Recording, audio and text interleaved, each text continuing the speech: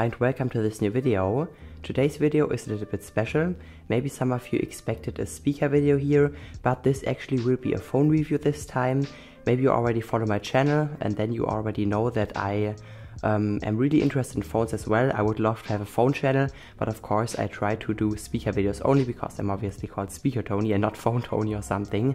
But today's video um, is really something I definitely wanted to share with you because as you might know when you watched my last video, um, I was camping in front of the Apple Store for one day with a friend. I know you can call me whatever you want. I read this very often on the internet. Other people don't respect other people's, I don't know, actions or, uh, I don't know, um, opinions. They just say, oh, you dumbass, you came to front of our store. Uh, yeah, I think it's just really respectless and you, I don't know, can just say it a normal way. Just say, I wouldn't support it, I wouldn't do it, but still I'm fine. Um, but well, there are many stupid people out there, but I won't focus on this this time, um, but just do some kind of, I don't know, comprehensive uh, and hopefully very short review of the iPhone. So I um, put on some bullet points onto my uh, iMac here, uh, which I can read now, and then I will go through all of those different categories and just, I don't know, talk a bit about my experience with the phone. I got it on the 3rd of uh, yeah November, um, so just some days ago, but I think that I got a very nice, I don't know, kind of overall experience with the phone, so let's just start.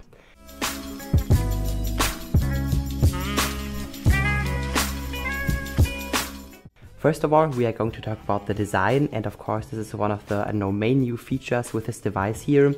So of course if you hold it in your hand, you instantly notice that it's totally different looking than the uh, I know, usual iPhones.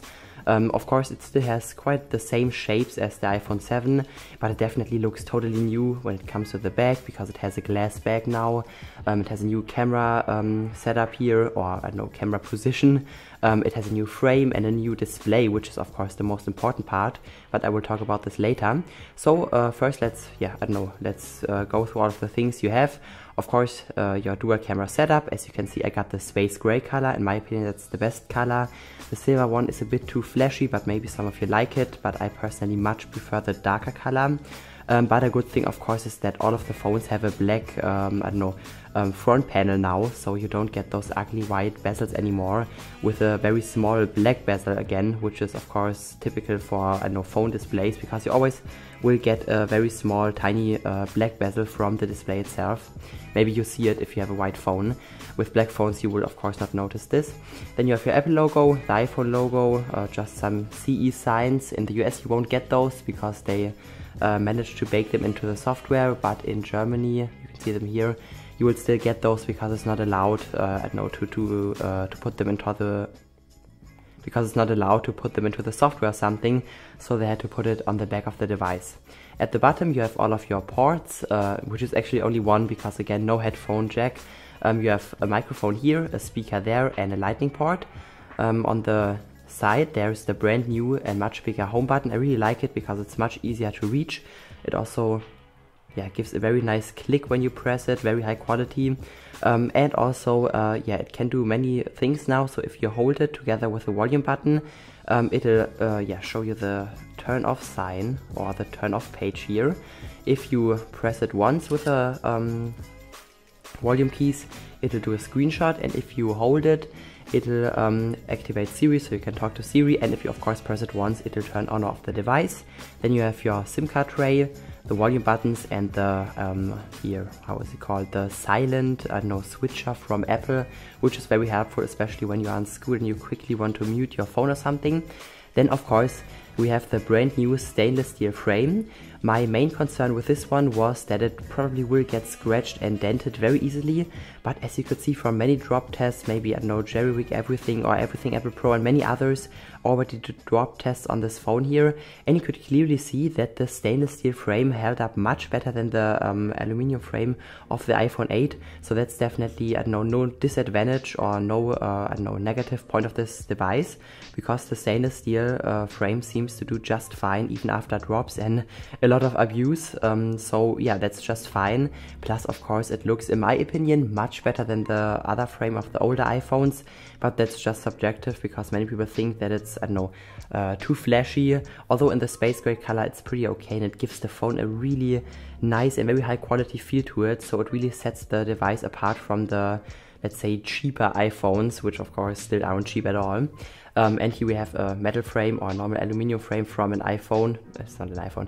Uh, it's a Xiaomi Mi Mix 2. Um, and you can see it looks uh, a bit more, maybe not elegant, but it looks uh, more sophisticated than this one. And it's really up to you which one you like more.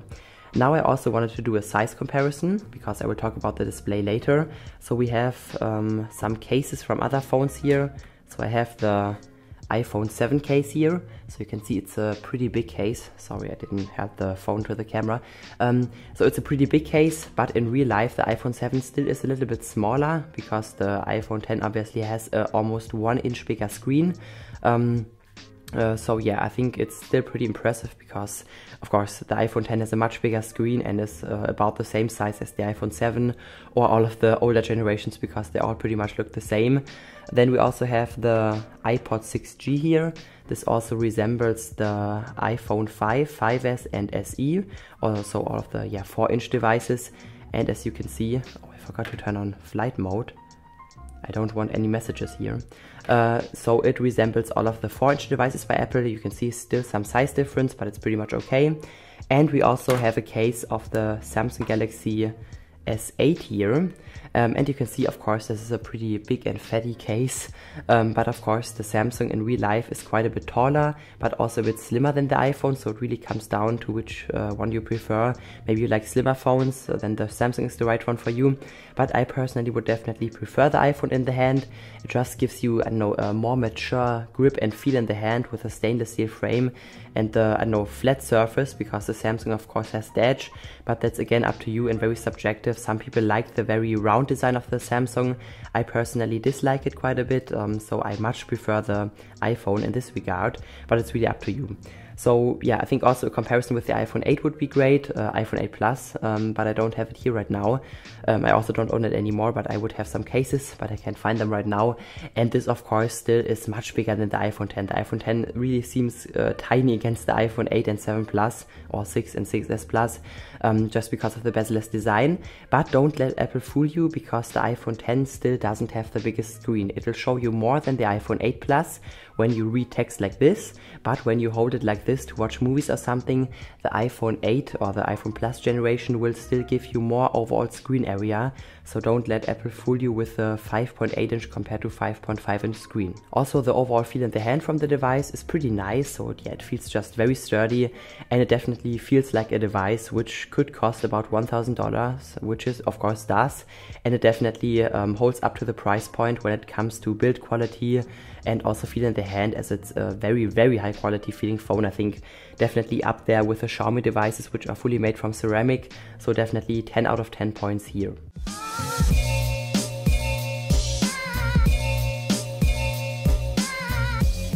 The next thing is the software. And in my opinion, I think that the software is very great here with the iPhone 10.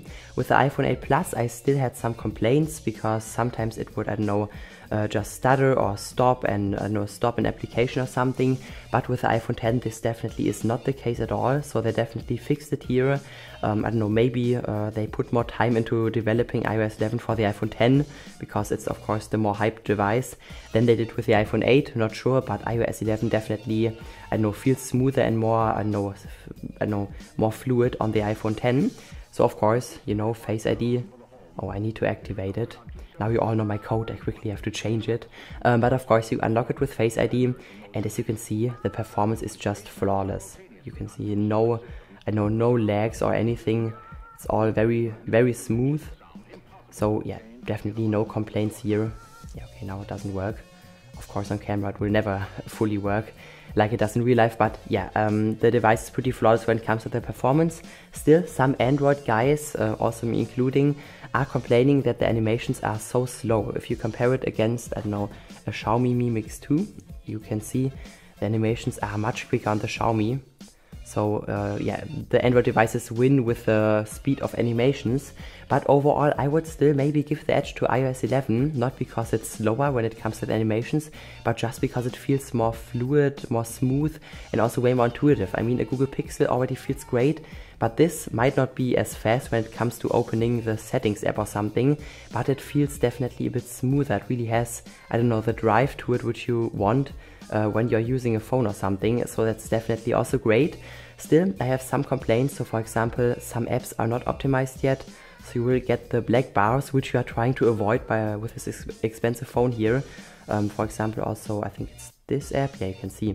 Also many games aren't optimized yet, but of course you have to keep in mind that the phone is just some days old, so just give Apple one or two more months and then all of the apps including Google Studio uh, or YouTube Studio will be optimized and then the experience will probably be close to perfect. Also two more advantages of having iOS of course, as we all know, you get many, many years of updates um, and you also don't get any slowdown when you use it. This is my main complaint with Samsung devices. They offer top-notch hardware, but the software definitely struggles. I mean, in the first few weeks, it runs just fine, although TouchWiz also doesn't quite, I don't know, match my expectations because it doesn't look that nice. Also, Bixby is very annoying, uh, especially the button for it. And after some months, it just becomes worse. If you are a heavy power user like me and you want great performance even after 6 months of use, I wouldn't recommend a Samsung device because they all show slowdown, while iPhones um, yeah, never slow down, maybe like 5 or 10%, while the Samsung devices definitely have way more decrease in speed when it comes to, I don't know, uh, long-term use.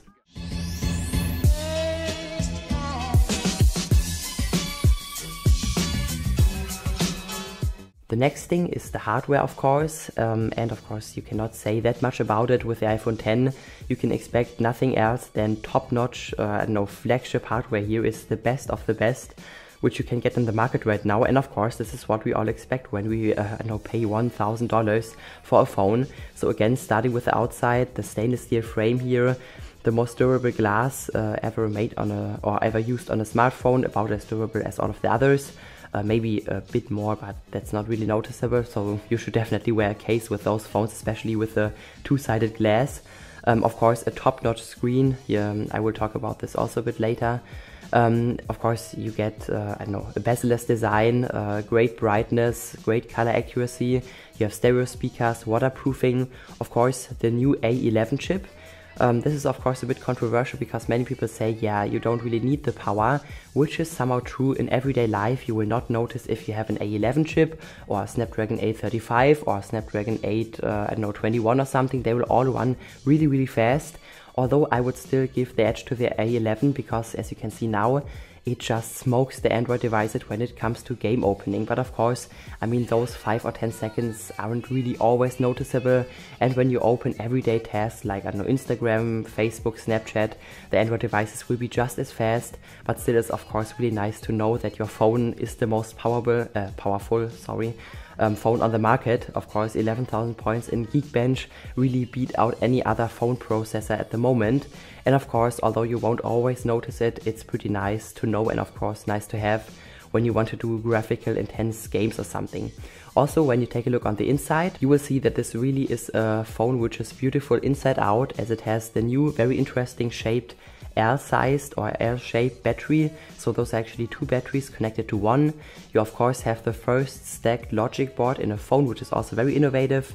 Um, of course, the device is also waterproof, IPX67 rated. You have all of your cables on one spot, so it's definitely a very, very nice device. Also when it comes to the inside, so it doesn't look like a crappy China phone from the inside with all of the things uh, know, thrown together, but it also looks very interesting when you open it up. But I wouldn't recommend it because it's very hard uh, for a normal guy to close it up again, but I don't think that any one of you will approach a disassembly of this device like I would do with a speaker or something. But still, it's a very great phone when it comes to the hardware. In my opinion, I think one of the best on the market even better than something like the Xiaomi Mi Mix 2 or the Samsung Galaxy S8 just because uh, of the stainless steel frame, the more powerful processor and also um, I think the very innovative internals. So for example also the OLED screen which is uh, curved around like this which of course makes it more expensive but also allows the bezel-less design at the bottom of the, uh, of the screen. And usually you of course have the chin here with any other bezel-less phone. With the iPhone you don't because they managed to put the display technology or the display, um, I don't know how to call them in English, um, the things which give the signals to the display under the display by uh, folding it around. And that's of course also very innovative. And you of course have to pay for this innovation um, and that's why I think that the hardware of the phone is just great. No matter if you like Apple or not, you cannot deny that the phone is a really great piece of machinery uh, from the outside and from the inside. The next thing I want to address is of course the screen. We have an all new Super Retina HD screen with I think 458 pixels per inch, great viewing angles and in my opinion the best screen you can get on a phone right now. Of course I can totally understand when people say yes I like the saturated colors with the um, uh, Samsung devices or I like the very natural look with my iPhone devices. I mean the older ones with the LCD screen had a very natural color look while the iPhone 10 really is uh, I think the perfect compromise between those. It offers great contrast, of course, due to the AMOLED screen. It's super bright. Indoors, it's as bright as the Samsung Galaxy S8. Outdoors, the Samsung has a sun mode, which makes it much brighter than the iPhone. But in inside or indoors, they are roughly the same, and the iPhone definitely is more than bright enough and also much brighter than the older iPhones. It has great color accuracy. Um, I really love this about Apple. They calibrate their display almost perfectly when it comes to the color, color accuracy. Sorry.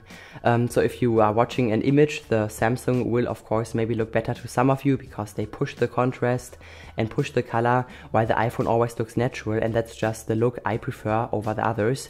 And that's why it's for me, of course, uh, the best display you can get right now. Also, when it comes to the bezel layout, some people might prefer the Xiaomi here, which overall has smaller side bezels while the iPhone has bigger side bezels, but of course also doesn't have a bezel at the bottom and at those sides here just has the notch. So that's I know also up to you which one you like more. Some say that they like the bezel setup of the Xiaomi or the Samsung more with the symmetrical bezels at top and bottom. And some people, including me, just like this design more because in my opinion it just takes it, I don't know, one step further. Of course the side bezels still are a bit bigger than usual or than usual with the bezelless devi uh, devices. But of course you also get no bezels at the bottom and no bezels on the, I don't know, ears here when you want to call them like this because it of course has the notch. And talking about the notch, let's unlock it quickly. Great, didn't work because I'm behind a tripod. And if you are watching a video, for example this one, you can of course watch it like this. The AMOLED screen will turn off here and it will look just like a bigger bezel like you got with the older iPhone 8s and I don't know 6, 6S and all of the older iPhones or you can crop it in with a YouTube app and I, I was really impressed. I mean all of the apps which support uh, video viewing already support this gesture here. So you can just zoom in and then it will um, yeah, fill in the entire display and of course the notch will slightly cut off something from the screen. For me that's no big deal, for some people it's really disturbing, but it's definitely nice that Apple gives you a choice here. And of course uh, the notch is also very controversial, some people hate it, I personally really like it, it makes the phone, I don't know, very outstanding and very recognizable looking, which is of course uh, important for a phone, so it really stands out. Um, but I can also understand when some people really dislike this notch there because it could be annoying sometimes. For me it's really nice, especially um, together with this bezel-less design. It's just a beautiful looking screen. Also addressing some other issues from AMOLED. Let's unlock it again here.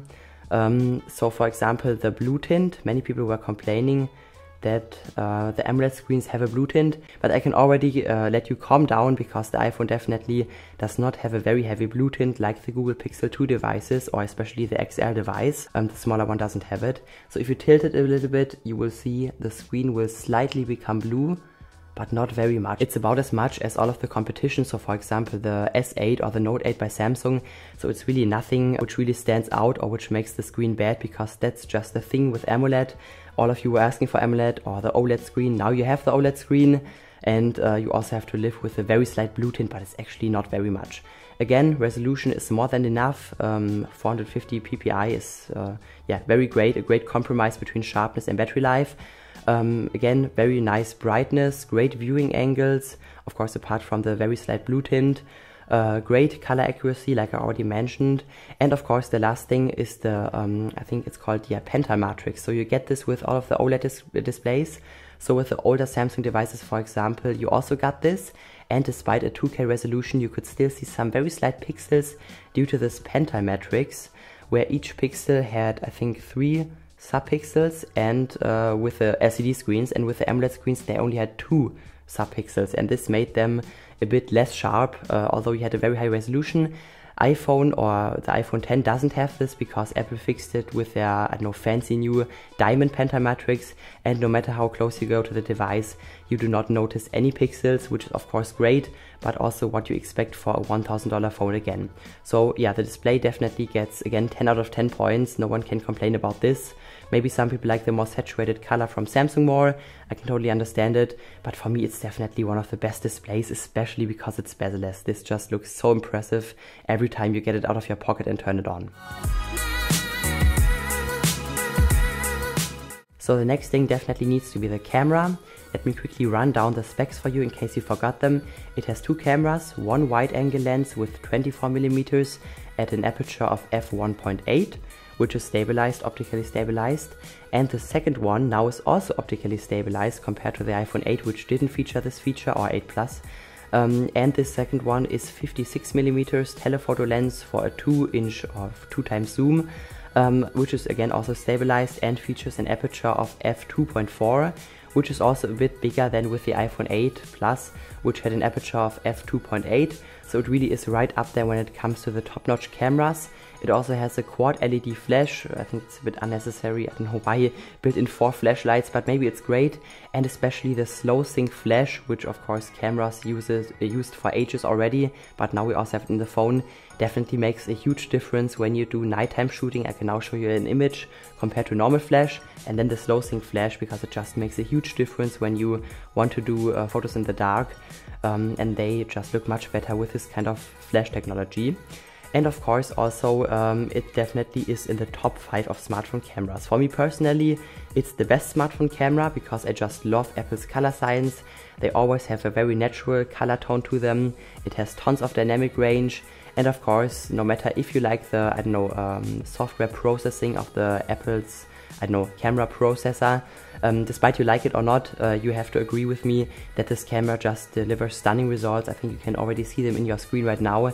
They just all look nice. Again, I can totally understand when people have a different opinion, when they, I don't know, like the Samsung devices more with the, I don't know, pre-edited images because they really push contrast and color to the maximum.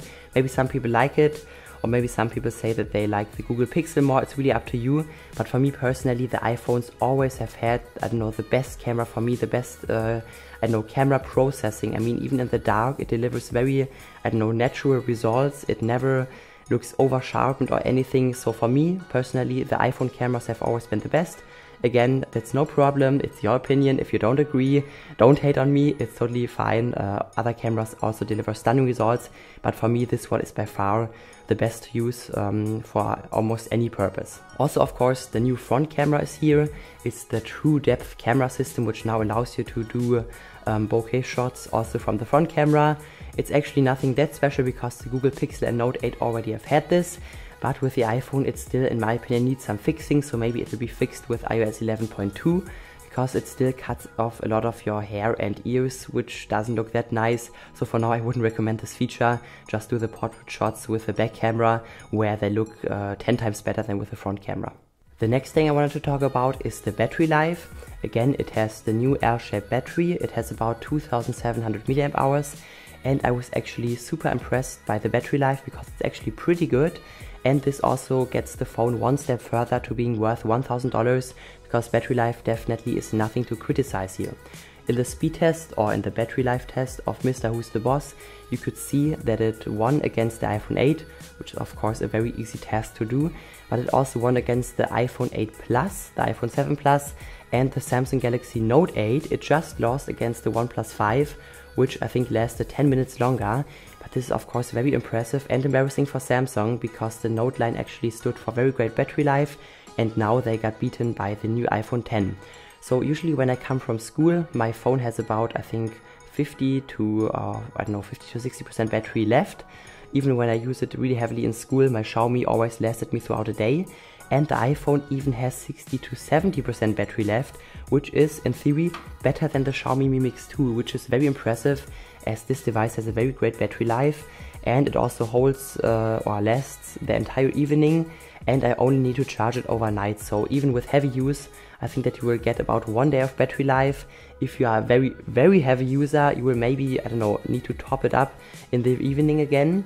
And therefore, speaking of, I don't know, refilling the battery, I can highly recommend the fast charger. I know it's $70. I know it's a shame and very embarrassing for Apple that they don't give it to you in the box, but if you have it, trust me, you won't regret it. I just bought it some days ago and it's really life-saving for me. I use it all the time. If I see, oh, I have 30% battery left, I could make it uh, for the rest of the day, but maybe it's safer to charge it up. I just plug it in for 20 minutes and I have about, I don't know, 50 or 60% again and it will last me definitely uh, the entire evening. So it's definitely something I can recommend. Um, and it also, of course, has wireless charging. You can buy one of those overpriced uh, wireless charging pads in the Apple Store, but you can also get a really cheap one by Anker for about $15. Sadly, it's no fast wireless charging, just 5 volts and 1 amp. A bit disappointing. That's why I also didn't buy a charging uh, thing or charging uh, plate for the iPhone because it's just slow wireless charging. But for all of you who like this kind of wireless charging, it's there with the iPhone 10 now and also the iPhone 8. But for me, the fast charging is much more important than the wireless charging and I really can highly recommend getting this. And again, my verdict on the battery life is, I don't know, 10 out of 10 points. Maybe not 10 because uh, I have already used the Mi Mix 1 and this lasted me throughout I think two days because it had a 4500 mAh battery so it gets 9 out of 10 points for almost perfect battery life. So the last thing I wanted to talk about are the gestures and the Face ID. So let's start with Face ID. You just wake it up by tapping it once and then it will recognize your face and you can simply swipe up and you are inside of the phone. It also works with Apple Pay and any other paying things on the internet, so it's really reliable. It always recognized me. I think when my face was wet after the shower, um, when my hair was messy. So maybe for all of the students here, if you, I don't know, pull out your phone under the table, it will still recognize your face from about one meter away. So maybe you are in a class lesson and you quickly need to translate something. You can definitely do it with the iPhone 10 because it also recognizes your face from about one meter away when you are sitting on your chair and you have the phone under the table. So just wanted to admit this, I tried it today and no one noticed. Next, let's also do the gestures. Or maybe I forgot to mention, uh, again, it also worked in the morning when my hair was messy. Uh, it also worked uh, when I had bright sunlight and it of course also works in the, I know, pitch black darkness, so no worries about that. Now let's talk about the gestures. Again, there's no home button, so you just do this gesture to go home. You can hold it and then it will open multitasking. And you can also do this kind of right corner gesture to open up the multitasking menu a bit faster. And one more gesture I wanted to show to you is this. It allows you to quickly switch between the apps. I see me using this all the time. It's just super helpful. And also I think after at maximum one day you should have fully adapted to the gestures as they are very intuitive. They never make you think, how do I close this menu? How do I do this? So it's pretty much uh, fully, I know, intuitive uh, and not, I don't know, complicated at all. It's very fluid and very nice. I think it even is better than the home button. I mean, the home button always was a gesture like this, now it's this kind of swipe gesture with a very nice and smooth animation in iOS 11. So I definitely think that this kind of, I know, swipe gesture is a great replacement for the home button, which is of course gone now due to the beautiful bezel-less design. Of course, also one more thing here is the um, one-handed mode. Therefore, you need to access the settings, go to general, then to accessibility, and then enter the one-handed mode. Therefore, you just do this, and then you can, of course, already open all the apps you want on top of the display with the one-handed mode. It's life-saving for some people.